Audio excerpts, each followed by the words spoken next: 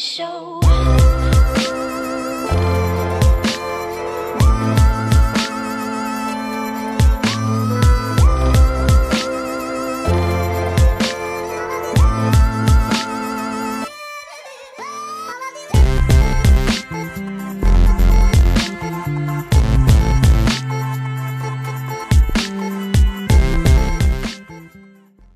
So you should go, unless you think you're gonna go slower than 78. I don't know. I'll, can I go in front of you, or you can? You Yeah, might go ahead. No, me, yeah. Feel free to do that, but I'll try. Yeah, I, I'm gonna try not to stay with you on the first lap. too. So,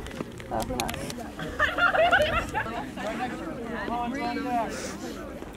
We have four. Two command. On your mark and then the gun. And on your mark, and step up to the on the curve white line. Once everybody's motionless, I will start.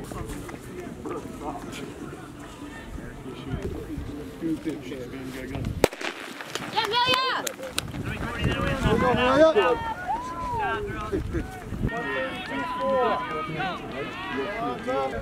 Let's go, Maddie.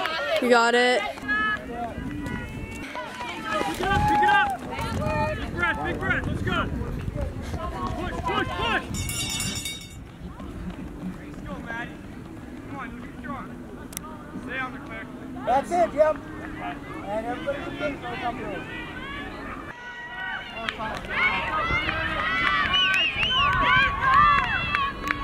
Almost there. Come on.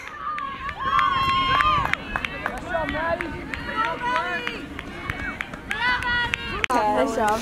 I forgot my sister. Those guys were great. Now we can hop in the hurdles. Uh, oh my Crocs. My Crocs.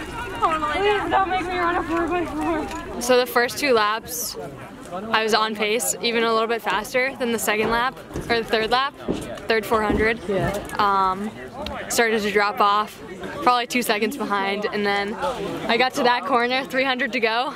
I looked at my watch and I was like, wow, I need to do this 358 seconds. And then I realized I couldn't do it in 58 seconds. so even though I finished at a 503, a few weeks ago I ran a 506, so still a three second PR. We'll get 'em next need, time. Need three more.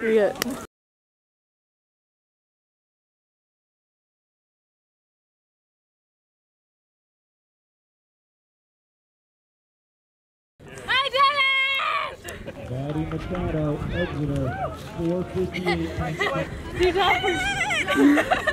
What was it? I think it was like 459, 458. That's so great. Oh my My gosh. watch says 59. So the race started out very fast.